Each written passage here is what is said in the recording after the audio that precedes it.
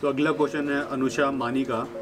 दी आपका क्रश कौन है? और आपका कोई बॉयफ्रेंड है? आज आज के बाद से किसी ने क्यू एन ए में मेरे से बॉयफ्रेंड बॉयफ्रेंड पूछा मैंने आंसर ही नहीं करने सारे लोग वही कर रहे हैं भैया ने भी सेलेक्ट कर करके वही क्वेश्चन रखे हैं। तो क्रश की बात करें तो क्रश मेरा है अ, कह सकते हैं अमन खतरवाल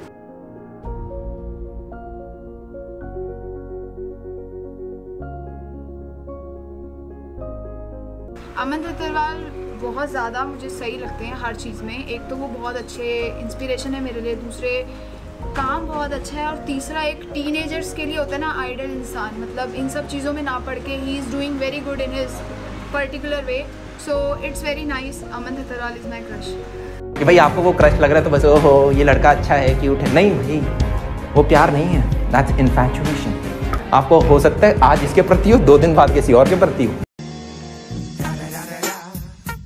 one and only Digo